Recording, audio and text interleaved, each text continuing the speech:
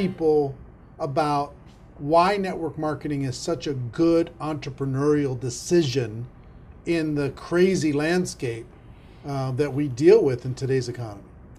Well, as we know, there's fewer and fewer jobs. You know, American corporations say they're hiring, but they're not hiring in America, they're hiring overseas. But more than that is that the reason I endorse network marketing is most people are addicted to the paycheck. And the paycheck is one of the most sinister plots ever pulled upon a human being. If you need a paycheck, you've sold your soul.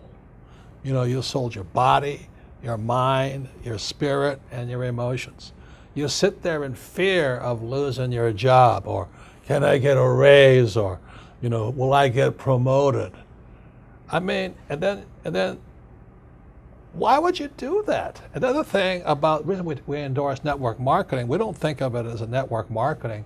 We think of it as entrepreneur development. Because if you need a paycheck, this is not your business. You know, we build businesses. So sometimes when Kim and I do a deal, we, we may not receive a paycheck for five, six years. You know, and so these guys come, oh, am I going to get rich quick? You know, and some people do. I don't know if you do or not. But that is an employee, get rich, loser mindset. And so the thing that network marketing does is really kind of cure you of that loser paycheck, get rich quick mentality and actually build a business. You know, we build businesses. But and that's how we're rich. But we didn't get rich quick, and I don't need a paycheck, and I never want a paycheck. So that's kind of a revolutionary thought to most people up there, who went to school to get good grades and get a job. You know, and then you get a high-paying job, and the, the higher-paying job, you, you pay higher taxes, and you wonder why you never get ahead.